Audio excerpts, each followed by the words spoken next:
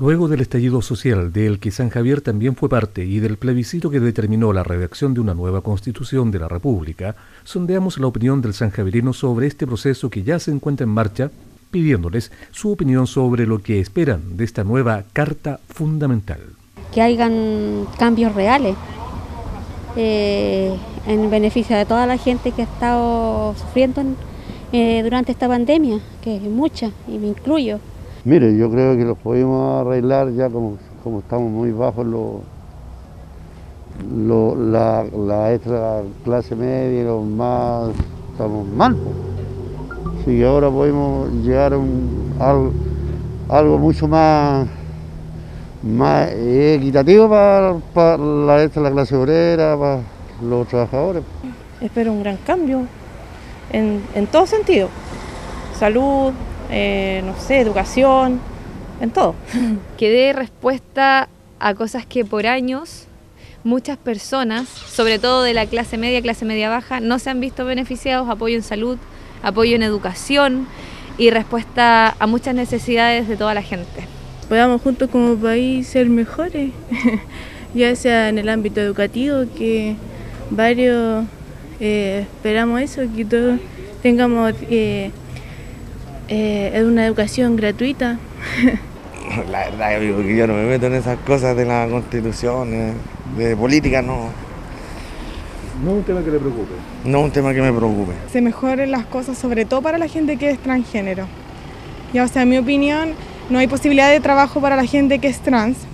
Ya tengo una hermana que es trans y aquí en San Javier no se le da la oportunidad de trabajar. Dentro de las respuestas más frecuentes a la consulta para el sanjavierino promedio destaca el deseo que el documento que regirá los destinos del país mejore la salud y la educación, mientras que frente a la pregunta ¿qué le gustaría que incluyera la nueva constitución?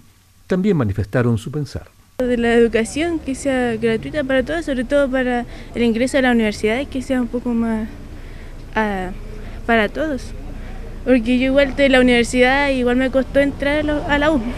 Lo primero para mí, para mí la AFP, eliminarla, porque eso creo que es una de las injusticias más grandes que se han cometido. Yo por ser, yo estoy por jubilar y para mí ha sido malo, malo, muy mala la AFP. Pucha, el, la gratuidad del, de la educación sería una excelente eh, reforma para nosotros. No tanto para mí, sino para los niños, mi hijo por último que estudie gratis. Sí, eso sería. En este sondeo realizado al azar en las calles de San Javier, también nos encontramos con extranjeros que observan el proceso que se vive en Chile. Claro, no tengo ningún derecho acerca de acá, hacer un comentario, nada, porque no me corresponde. Pero solamente deseo que ojalá no se convierta en un Venezuela. Eh, quizás hay nuevos pensamientos o nuevas ideas que ojalá y ayuden al país, ojalá y ayuden al país.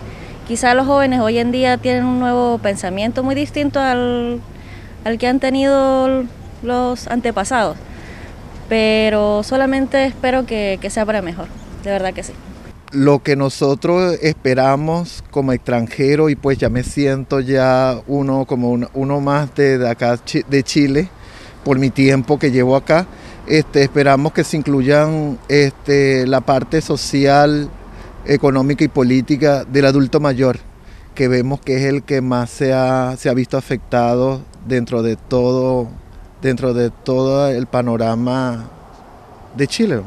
Son las diferentes opiniones del habitante de San Javier frente a este proceso destinado a guiar el destino del país en los próximos años y del cual la comunidad en general no se siente ajena.